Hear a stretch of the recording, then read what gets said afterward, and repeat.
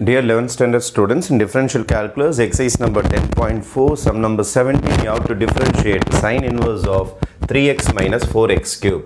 அவங்களே நேம் கொடுக்கணும்னா கூட நீங்கள் லெட் ஒய் இஸ் ஈக்குவல்ட்டுன்னு வச்சுங்க இங்கே ஒரு சின்ன ட்ரிக்னாமெட்ரி கேம் விளாட போகிறோம் let x is equal to sine theta அப்படின்னு எடுத்துக்க போகிறேன் அப்போ இங்கே போய் என்ன ஆக போகுதுன்னா sum y is equal to sine inverse of three sine theta minus four sine cube தீட்டாவாக மாறிடும்.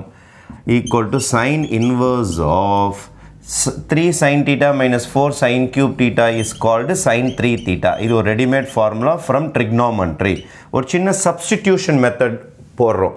சப்ஸ்டிடியூஷன் மெத்தட் போட்டிங்கன்னா இந்த சம் என்ன ஆகும்னா இன்வர்ஸும் சைனும் போயிடும். போயிடுச்சுன்னா y is equal to sum என்ன ஆகிடும்னா வெறும் த்ரீ தீட்டாவாக மாறிடும்.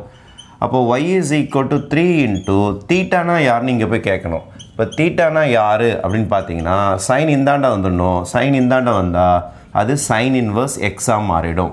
அந்த தீட்டாவை கொண்டு வந்து இந்த இடத்துல இதுக்கு பதில் சப்ஸ்டியூட் பண்ணிட்டீங்கன்னா three into sine inverse of எக்ஸாக மாறிடும். ஏன்னா நம்மளோட கொஷின் ஒய் எக்ஸாக தான் இருக்கணும். இப்படி இருந்த சம் தான் இப்படி மாற்றிட்டோம் இது ரொம்ப பெருசாக இருந்த மாதிரி இருக்கும். இது கொஞ்சம் சின்னதாகிற மாதிரி இருக்கும். வேறு ஒன்றும் கிடையாது.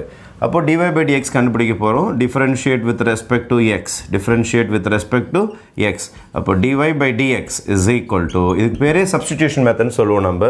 த்ரீ சைன் இன்வர்ஸ் டிஃப்ரென்ஷியேட் பண்ணிங்கன்னா sine இன்வர்ஸோட formula one by square root of one minus x square sine இன்வர்ஸை differentiate பண்ணால் one by square root of one minus x square therefore your answer will be 3 by 1 minus x square will be your final answer okay thank you.